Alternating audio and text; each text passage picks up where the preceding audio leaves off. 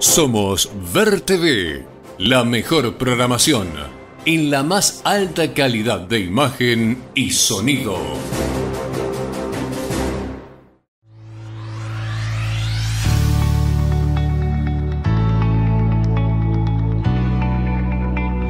Comuna de Santi Espíritu. Sigamos cambiando. Vamos juntos. Gestión César Bainotti.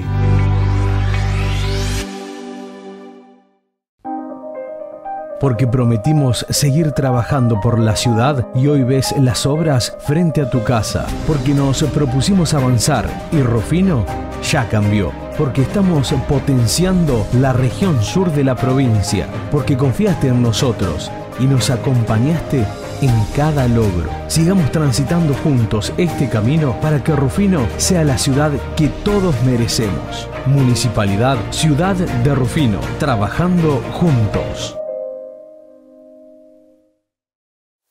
¿Cómo están? Es un gusto reencontrarlos a través de esta propuesta, nuestros pueblos, nuestros barrios, desde la ciudad de Venado Tuerto, en el barrio Bernardino Rivadavia, al sur de la provincia de Santa Fe. Aquí estamos en los estudios del Ver TV. Y aunque llega fin de año, el mes de diciembre, muchísimas son las fechas que se destacan y también llegan los cierres de año, cerrar ciclos, hacer repasos, mostrar todo lo que se ha elaborado durante este año y producido también desde diferentes instituciones, también buscándole hacer un cierre de año especial, emotivo, donde se revaloricen un montón de situaciones y momentos que en lo cotidiano debemos poner en auge y también resaltar. Un año 2021 que se va despidiendo, que si bien la pandemia continúa y desde ya también hubo momentos tristes, no deseados, pero esperemos poder despedirnos de una mejor manera. Compartimos la presentación del programa y prepárate porque nos vamos de recorrida.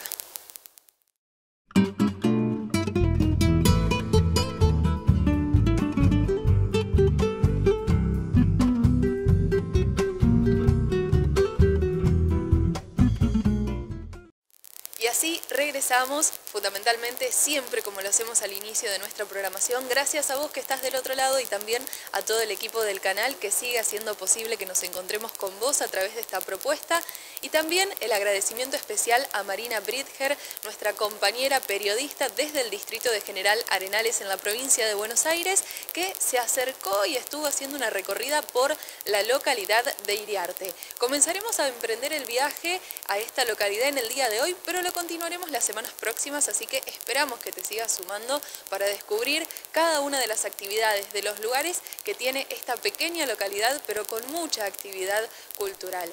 Comenzamos, como siempre, nos vamos a la dependencia municipal para escuchar a la autoridad designada, quien hace un repaso y de esta manera nos empezamos a informar de lo que sucede en Iriarte. Eh, somos una comunidad muy pequeña, mil habitantes, no llegamos a mil habitantes, bueno, bueno eh, tenemos mucha tranquilidad, gracias a Dios, podemos disfrutar de eso y pueden disfrutar los niños, que es lo más importante, la juventud. Eh, somos un pueblo tranquilo y alejado de las ciudades, que a veces nos perjudican algunos temas, pero bueno, nos favorecen los otros. Nosotros tenemos el hospital municipal en, lo que es cabecera de partido General Pinto. Tenemos una distancia de casi 70 kilómetros. Bueno, hoy en estos, en estos tiempos estamos mejor porque tenemos ruta. Hace años atrás teníamos camino de tierra. Eh, era un inconveniente muy grande porque era más fácil ir a Junín que ir a Pinto dando la vuelta por Lincoln, nos ocasionaba eh, graves problemas. Ante urgencia era complicado.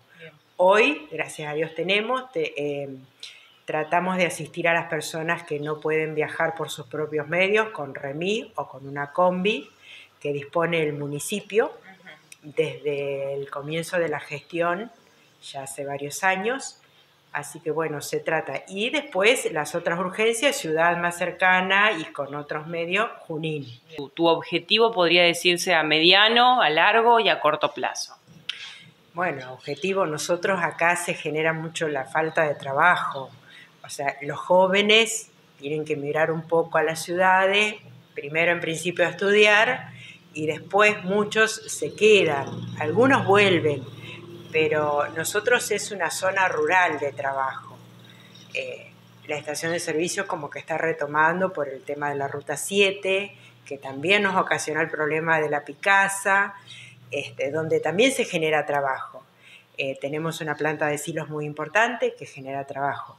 Pero después ya te digo, el chico que no le gusta la parte rural es como que no tiene otra oferta de trabajo. Eh, no, disponemos de una fábrica o de, otros medios para, para poder ofrecer al joven a que se quede en tanto lo que se consigna con la cuestión de la inseguridad, eh, vemos relativamente que es muy tranquilo. ¿Cuál dirías vos que son tal vez los casos, los casos de inseguridad eh, más repetitivos o, los más comunes, digamos, dentro, dentro de esta localidad? No, mira, a veces cuando han faltado cosas o han pasado cosas, eh, lamentablemente hay gente que viene de afuera acá nos conocemos todos, acá, eh, por darte un ejemplo, puede quedar una bicicleta afuera y al otro día va a estar. No hay repetición en cosas, en hechos que hayan surgido. Sí, puntualmente, que haya pasado algo, pero te vuelvo a repetir, muchas veces por, la gente de otros pueblos, vecinos que... Nosotros, a partir de la gestión del intendente anterior, de Alexis Herrera, eh, siempre hicimos hincapié en el tema de vivienda. Hay una demanda de viviendas. Bueno, se logró conseguir varios barrios de viviendas, pero bueno, hoy por hoy sigue siendo eh, la demanda más importante en las personas que muchas veces no consiguen una casa o personas que se, se han ido a otro lado porque, bueno, no consiguen una casa. Después es un trabajo constante y diario de tratar de mejorar el pueblo, tanto en lo prolijo, en la limpieza, en, que tenga más cordón cuneta, en que tenga más pavimento. es una gestión que uno permanentemente va, va pidiendo. Nosotros tenemos la fiesta del pueblo, que es el 13 de abril, es cuando se celebra el festejo de la localidad. Eh, después, eh, hace unos años atrás, empezamos a trabajar con las instituciones del pueblo, escuela primaria, escuela secundaria y el club, tenemos un solo club, este, en organizar los carnavales. Este, entonces, organizamos este, los carnavales en enero, ahí se, se trabaja y un poco para que las instituciones también puedan recaudar un dinero se trabaja ahí y después siempre atento a lo que alguna inquietud de un vecino. Este, bueno, para la fiesta del pueblo se trabaja con los artesanos, con gente que quiera bailar, cantar, eh, un poquito de todo. Y seguimos en la localidad de Iriarte que le abrió las puertas al Ver TV. Primera visita del canal allí, pero seguramente vendrán muchas más en las próximas ocasiones. Ahora vamos a enterarnos de la actividad que se dará este fin de semana. Feria de Artesanos. Vamos a escuchar e informarnos a través de las voces de algunas de las organizadoras. ¿A quiénes convocaron? ¿Quiénes estarán presentes? ¿Cuál es la esencia y el objetivo de realizar esta feria? Iriarte este fin de semana tiene un espacio para los emprendedores, artistas y para descubrir más y también podés sumarte, escucharemos a continuación.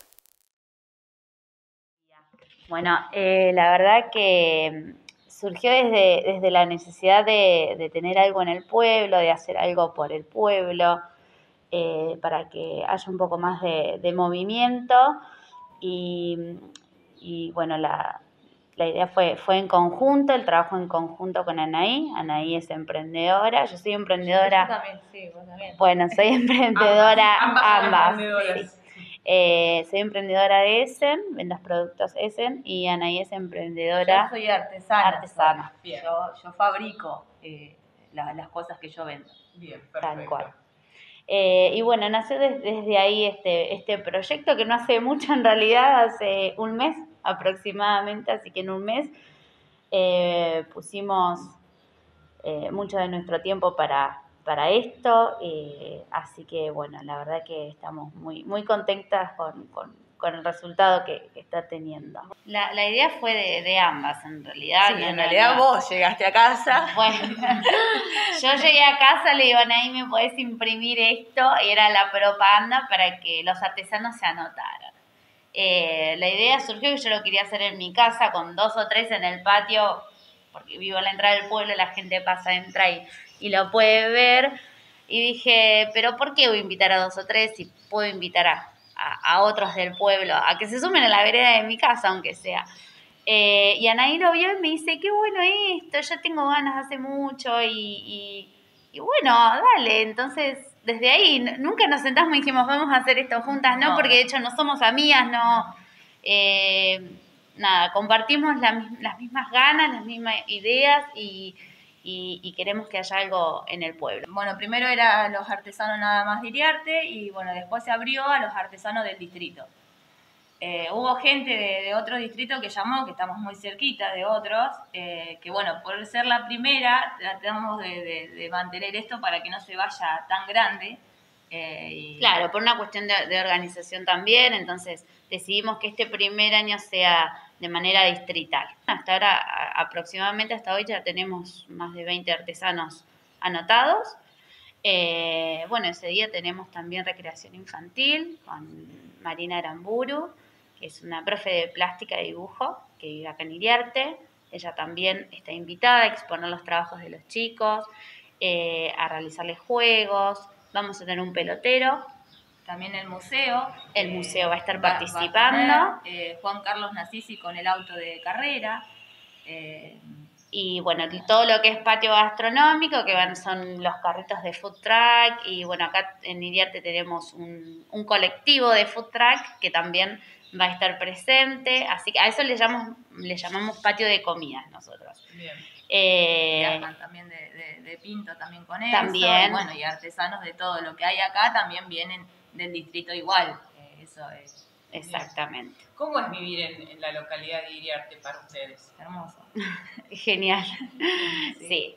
Más para eh, nuestras hijas, eh, o sea, hijos. Sí, sí. la verdad que es un, es, es un lugar, todavía estamos tan lejos de las realidades que vemos en la tele, en la ciudad y eh, y realmente te da mucha paz saber que dejamos la bici afuera o como vos me decías, dejamos el auto abierto, eh, no pasa nada, lo dejas en la calle, no pasa nada.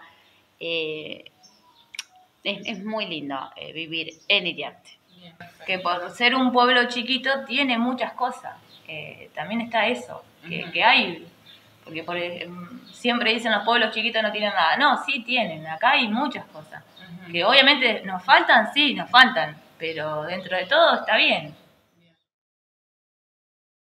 Y este acontecimiento, mejor dicho, estos acontecimientos sucedieron en esta semana que pasó, pero queríamos compartirlo porque realmente le dieron vida al centro de la ciudad de Venado Tuerto y vale celebrar que se puedan realizar muchísimos eventos, convocatorias y especialmente estas en fechas fundamentales para quienes están adheridos a estas creencias y a estos ámbitos religiosos el Día de la Virgen, el miércoles 8 precisamente, pero previamente y durante ese mismo día se sucedieron las fiestas patronales aquí en la ciudad de Venado Tuerto. Para enterarnos de lo que sucedió, vamos a escuchar el anuncio que hacían previo a la sucesión de todos estos eventos. Por un lado, el padre Diego Cabanac desde la Catedral de la ciudad de Venado Tuerto, acompañado por Santiago Meardi, secretario del área de producción del gobierno de la ciudad de Venado Tuerto. La buena noticia de que este año las fiestas patronales eh, se, van, se van a hacer eh, a, partir de, las diferentes situaciones de pandemia en los últimos dos años. Eh, siempre hubo algunas dudas o complejidades en, la organización. Este año ya hay una organización establecida y podemos anunciarle que esta, esta fecha tan estas fechas tan importantes eh, para la tradición de, nuestra ciudad, pero también eh, un evento tan emblemático como así también que tiene que ver con una organización conjunta con la iglesia de, Venado Tuerto, eh, se va a hacer. Vamos, ya, ya tenemos una agenda para el 4 y 5 este fin de semana de, diciembre, en donde en principio el, el, 4, a partir de las 8 de la noche, vamos eh, a estar eh, con una actividad eh, que tiene que ver con los coros y el, viernes una actividad de, teatro musical más allá, obviamente, de todas las actividades propias de, que, está haciendo, que está haciendo la iglesia. Y después del 7 y el 8, durante la semana, vamos a tener unas eh, ferias de emprendedores muy, muy importantes eh, y la celebración en sí mismo del Día de la Inmaculada Concepción, que es la patrona de, nuestra ciudad. Este año van a ser todos emprendedores locales. En virtud de la organización, nosotros eh, todo este año estuvimos trabajando con una política integral de, de emprendedurismo en donde eh, hemos llegado a tener un registro de cerca de mil emprendedores. Para cada una de, estos, eventos, de, ferias que nosotros tenemos, la verdad es que son muchísimos los expositores que tenemos y hoy eh, en, esta, en esta feria tan importante lo que nos ocurre es que la cantidad de emprendedores nos desborda, con lo cual eh, vamos, elegimos tener emprendedores locales. Así que bueno, hemos puesto como temática y reflexión eh, a la Sagrada Familia de Nazaret y un poco invitamos en cada uno de estos días de la novena a la esperanza en este tiempo que nos toca vivir, la pandemia, las dificultades a veces en la situación económica, social, de los vínculos. Bueno, la esperanza nos tiene que mover de manera activa a todos a seguir trabajando por por nuestra sociedad, por nuestra comunidad. Por eso a lo largo de los días de la novena hemos hecho, podemos decir, como un recorrido de la vida de Jesús y de la Sagrada Familia. Y, en este sentido, eh, además de lo litúrgico de cada día, las misas, eh, bueno, hemos querido compartir con las distintas etapas de la vida algunos momentos. Por eso el sábado vamos a tener un momento para los niños, el domingo después de la misa para los jóvenes. Eh, mañana viernes visitaremos los hogares de ancianos, los lugares bueno, donde se encuentran algunos de los abuelos. Y bueno, y después el 7 y el 8 compartir eh, bueno, esos momentos más importantes en la víspera de la fiesta patronal y fundamentalmente el 8 celebrar a nuestra patrona. Este año sí contando con la posibilidad de hacer la procesión, que lo vamos a hacer desde el parque, la plazoleta que está en el Parque Español, hasta por calle Maipú y Belgrano, hasta la Catedral. Luego la Santa Misa, que este año tenemos eh, el honor, podemos decir, de ser celebrada y presidida por el nuevo obispo, Monseñor Ham.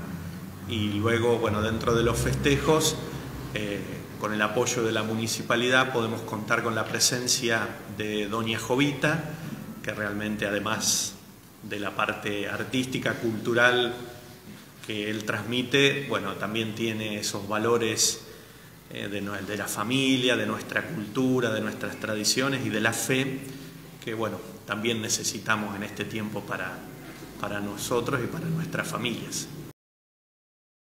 Y también esta semana y el miércoles 8 tuvo lugar el estreno de una obra y nos vamos a la producción, a este gran grupo teatral La Ventana. Nos vamos aquí cerca, a la localidad de Murphy, que también tiene su actividad teatral desde hace muchísimos años, desde ya mucho es el trabajo y el esfuerzo. Vamos a escuchar a algunos de los integrantes que describieron de qué se trató la presentación de esta obra con un tema fundamental que revive aspectos de nuestra historia. Desde el Ministerio lo que queremos primero es agradecer que otra vez, una vez más, Murphy es el anfitrión perfecto para recibirnos, para darnos la posibilidad de que se pueda concretar, porque no es fácil, es un espectáculo realmente grande, con 38 este, actores y actrices, dirigido por Miguel Palma. Y mm, este, así que este, este, miércoles va a ser toda una movilización en, en Murphy. Eh, no dudamos nosotros como eh, componentes de la Asociación de Teatro La Ventana, ante la propuesta del Ministerio en convocar a, la comuna para que nos ayude en la organización y obviamente como siempre y como la comuna de Murphy está dispuesta a los hechos culturales, eh, se acerca a darnos una mano para que esto sea posible.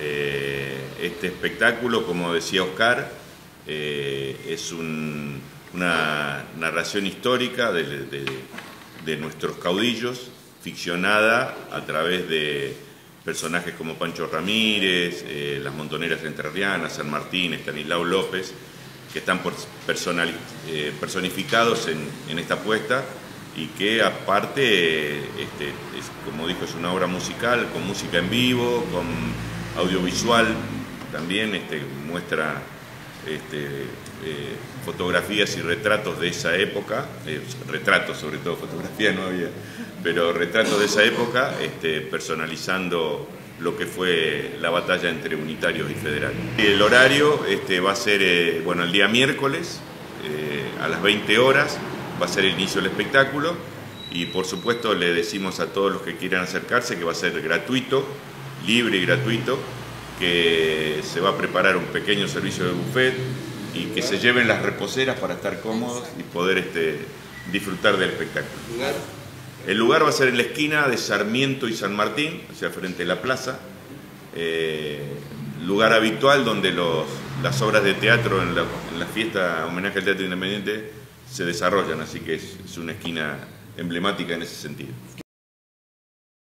Y el arte teatral nos sigue convocando. Este fin de semana, sábado y domingo, aquí en la ciudad de Venado Tuerto, un espacio público que viene siendo protagonista y escenario de muchísimas propuestas, una vez más lo será. Y ellos, 30 personas en escena, podrán ofrecerte una gran propuesta como lo solían hacer cada año el cierre de la Escuela Municipal de Teatro Musical es con obras que realmente se despliegan, que realmente impactan, se diferencian y se destacan por el ensayo, toda la producción previa, también desde ya todo lo que conlleva hacer a la vestimenta, al vestuario. La pandemia hubo un año que no lo permitió realizar, pero este sí será, así que vamos a escuchar a una de las directoras de esta Escuela Municipal de Teatro Musical, Andrea Oviedo, que nos cuenta qué sucederá este fin de semana en Plaza Italia. Reposera, entrada libre y gratuita a las 21, nosotros te avisamos. Eh, el día sábado eh, y domingo en Plaza Italia con entrada libre y gratuita vamos a hacer el musical We Will Rock You, con música de Queen. Bueno, hay 30 personas en escena, más o menos, son los chicos juveniles este, de nuestro espacio. Bueno, hacer la obra, eh, qué sé yo, es la, banda de nuestra vida, es la banda que, nos, que nos ha señalado siempre, entonces es como un hermoso homenaje a, esta banda que en realidad no es un tributo, sino que hay un cuento, o sea, es un musical.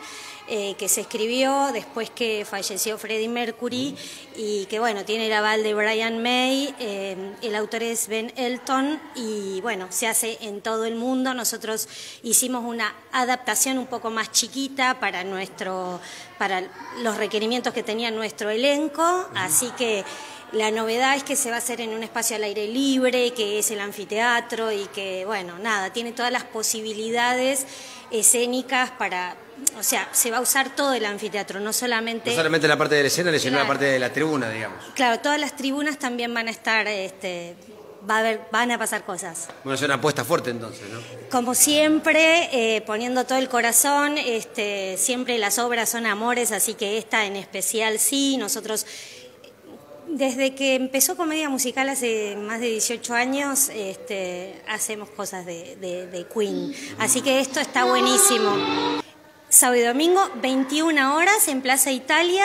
Hay que llevarse reposera.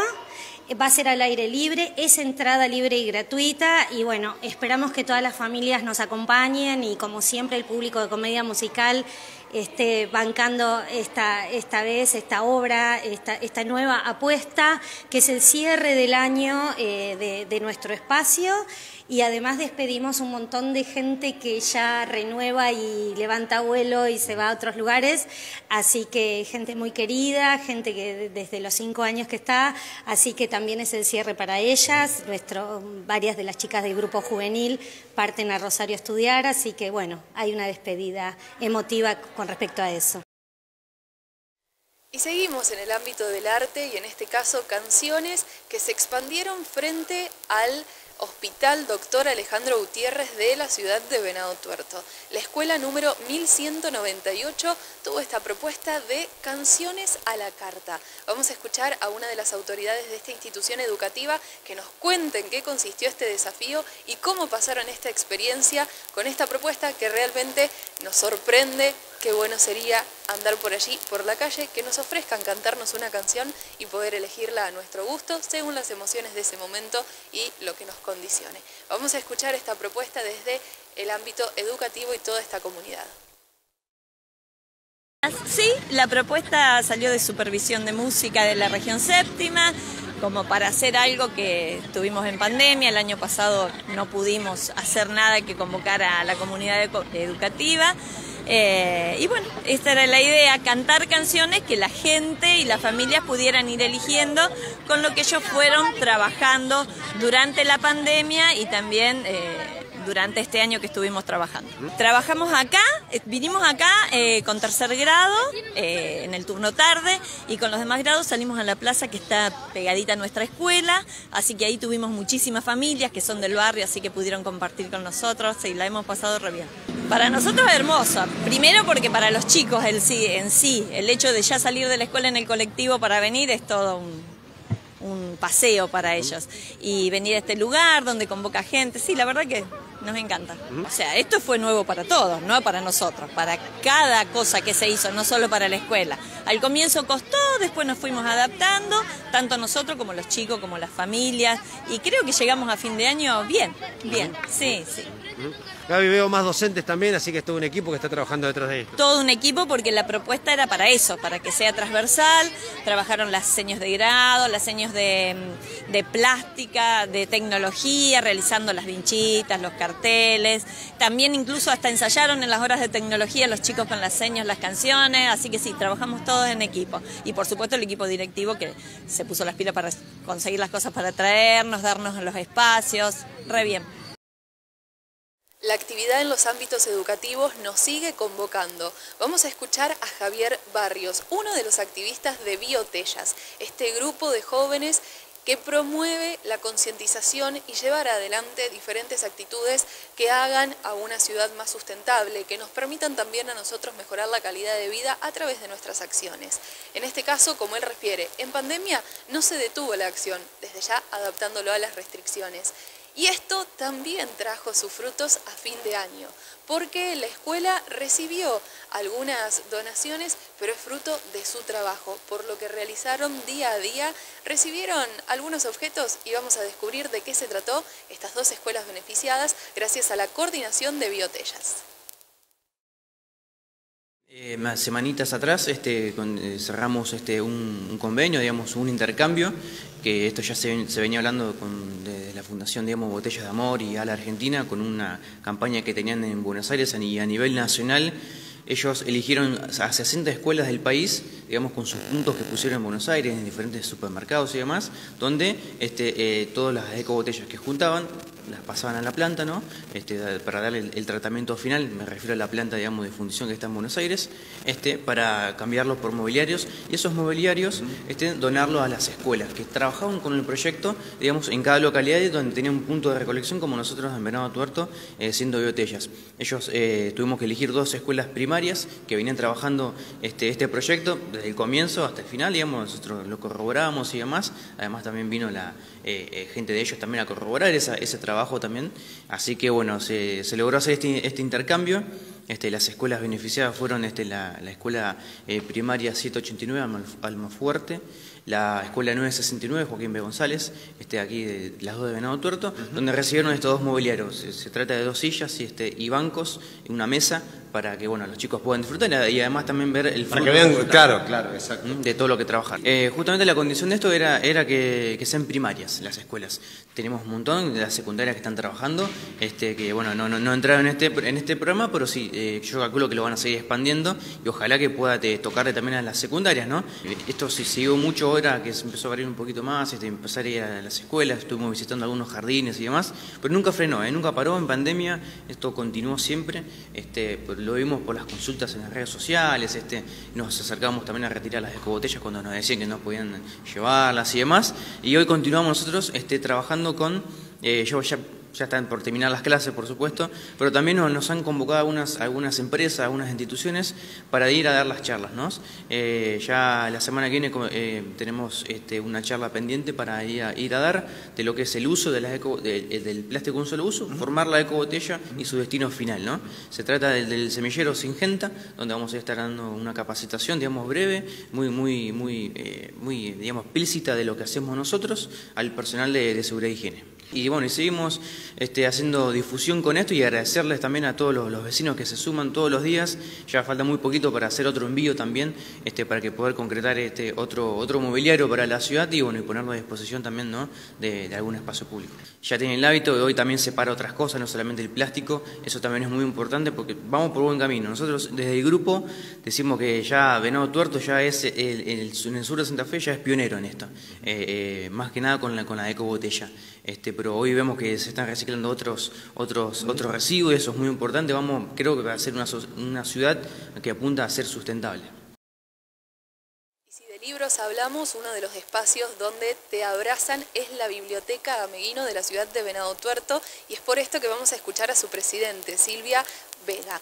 Hace un repaso, un cierre de año también, pero remarca que la actividad continúa con ferias que la gente viene aprovechando, menciona y remarca ella. Además nos anticipa cómo esperan cerrar este fin de año, así que te lo vamos anticipando, luego te compartiremos cada uno de los detalles cuando lleguen las fechas precisas. Sí, agradecemos a todos los que pasan por la biblioteca y se llevan libros, porque es una forma de seguir haciendo la promoción a la lectura. No todo el mundo puede pagar la cuota, que a partir de enero va a ser de 200 pesos. Entonces, estamos viendo que los libros más caros que vendemos hoy son 200 pesos y ya nos queda uno solo. El resto es todo de 20 y de 50, o sea que la gente está aprovechando muchísimo los libros que tenemos para ofrecer y para seguir promocionando la lectura, que es lo que nos interesa, para todos los gustos. Y hace poquito limpiamos el rincón infantil y encontramos algunos que ya había que darle de baja, incluso repetidos, que estaban en muy buenas condiciones, pero estaban repetidos, así que los sacamos. Y eh, bueno, la gente está aprovechando esta feria, sí, es la tercera del año, como vos dijiste, y bueno, la pandemia por ahí no nos permite eh, hacer tantas y ahora vamos a depender de la donación de la gente para seguir haciendo, porque ya con esta feria creo que sacamos todo lo que teníamos eh, acumulado, así que bueno, gente que incluso hace que se lleva ahora en la feria unos libros y en la próxima feria viene y los devuelve porque ya los leyó, no tiene espacio para almacenarlos, así que los trae de vuelta para que los volvamos a vender, así que eso nos sirve a nosotros un montón. ¿Cómo, ¿Cómo, cierran, cómo viene este cierre de año? Digamos, ¿qué balance puedes hacer? Con muchas cosas, porque eh, por suerte esta feria y después tenemos los fines de semana siguientes actividades de teatro. Eh, un grupo que es de Santa Isabel y el otro acá de Venado. Así que bueno, vamos a hacer el cierre con obras, obritas de teatro.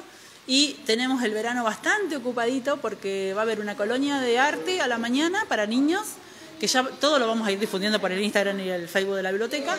Y eh, va a haber un ciclo de cine que eso lo vamos a programar con Atilio Perín, que está revisando unos videos que nos donaron hace un tiempo de Videotempo, así que vamos a hacer un ciclo de cine. Y eh, había otra cosa que ya me Ah, y Marcela Fumale va a hacer una cata de lecturas que son ocho, eh, ocho, novelas cortas. Para gente que se quiere inscribir, tiene que comunicarse con ella, que es una de las bibliotecarias de acá de la Biblia. Eh, y bueno, va a ser en verano los miércoles, eh, sé que a la tardecita dos horas se van a juntar para comentar novelas. Y a nosotros nos gusta que la biblioteca tenga esta vida, que la gente recorra, se lleve libros, mucha gente nos dice que va a volver a asociarse, después que mira esta actividad, dice voy a venir porque me interesa para los chicos la, asociarme para sacar libros o para ellos, entonces nos gusta, nos gusta que aprovechen la biblioteca. Finalizamos la recorrida por hoy, te lo advertimos como cada semana porque próximamente nos reencontraremos para seguir descubriendo la esencia, la identidad de cada una de las localidades, pueblos o ciudades de la región. Por supuesto también de aquí, la que habitamos, la ciudad de Venado Tuerto. El agradecimiento reiteramos a todo el equipo y a vos que seguís del otro lado. Quédate con el Ver TV porque la programación continúa, descubrí aún más lo que te ofrecemos. Nosotros nos encontramos la semana próxima. Hasta luego. Chau, chau.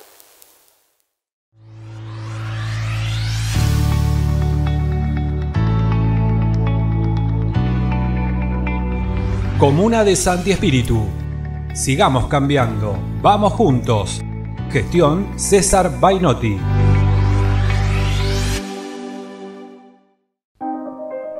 Porque prometimos seguir trabajando por la ciudad y hoy ves las obras frente a tu casa. Porque nos propusimos avanzar y Rufino ya cambió porque estamos potenciando la región sur de la provincia, porque confiaste en nosotros y nos acompañaste en cada logro. Sigamos transitando juntos este camino para que Rufino sea la ciudad que todos merecemos. Municipalidad Ciudad de Rufino, trabajando juntos.